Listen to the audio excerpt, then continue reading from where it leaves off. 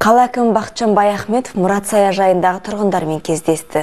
Қаланың шет жағында орналасқан саяжай болғандықтан бұл жердегі халықтың да қордаланып қалған мәселелері жетерлік.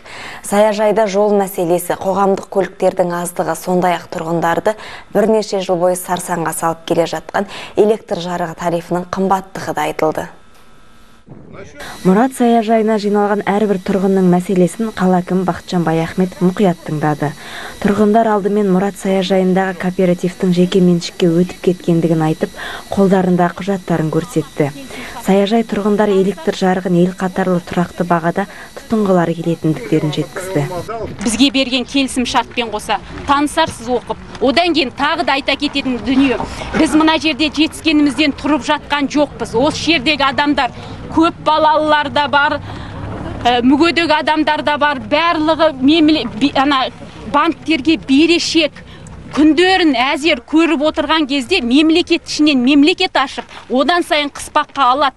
Керегіне біз таза тыныш электр қуатын қалаға қаладан алғымыз келеді. Жердің меншігі біз жерді налоговыйға төлеп меншік иелерсіздер оның үстінде тұрған мүліктің үйдің де иелерсіздер. Иә иә сондықтан енді бұл жерде ары кет десең соны светтер соның бәрін құрметті ағайындар заңдығын соны шешіп берсеңіз. Енді қазір мен сіздерге айтсам жарты жылда мен бәрін қатырамын олай болды. Жоқ жоқ оны оны тек қана сіздердің қатысуларыңызбен біз бір бірімізді ақпараттандырып отырып қана осыны ғана шеше аламыз. Задолженности на сегодняшний бұл жерде шығыс энерготрейд бойынша қарыз жоқ төлем уақытында жасалып отыр. Серіктестік жұмыстарын атқаруда екі жақты келісімшарт жасалған.